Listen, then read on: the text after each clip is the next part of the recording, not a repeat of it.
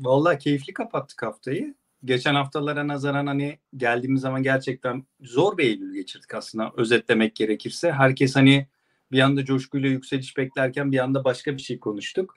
Ee, ama güzel olan konu şu şu an alınabilecek çok fazla kağıt konuşmaya başladık. Artık düzeltmeler de oldu. Hani şunu mu alsak bunu mu alsak diye kafamız karışmaya başladı. Eskiden ne alacağız diye kafamız karışıyordu.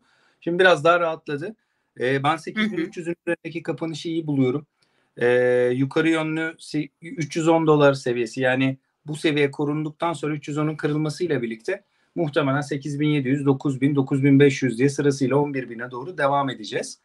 Ee, özellikle bankalardaki hareket hani senle çok altını çizdiğimiz için böyle bankaları niye ekstra sahipleniyoruz biz diye düşünüyorum. Ee, bankalardaki hareket çok değerli. Yabancı raporları inanılmaz iyi geliyor. Bu tarafla ilgili hani bir rapor hariç şu ana kadar Türkiye için olumsuz bir beklenti yazan hiç kimse olmadı. O rapor da olumsuz değil şerh düşen bir rapor.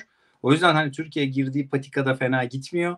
Ee, bunun da karşılığını alacağız. Çok da sektör var gelecek. Bence Ekim ve Kasım, Eylül gibi geçmeyecek. Gayet rahat e, geçirebileceğimiz aylar olacak. Yeniden hani coşkulu kapatabileceğimiz haftalar olabileceğini düşündüm. Bir aya giriyoruz. Bu Eylül'ün son yayında yayınında ve e, o yüzden böyle biraz mutluyuz.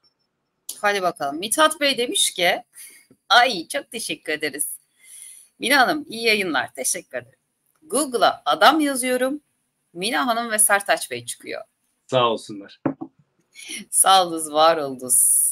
Ee, çok teşekkür ediyoruz. Evet, e, Mine kardeşim, Sertaç kardeşim iyi yayınlar. Borsamız e, dediğiniz gibi 8300 üstü kapattı. İnşallah pazartesi daha pozitif olur kanısındayım demişler.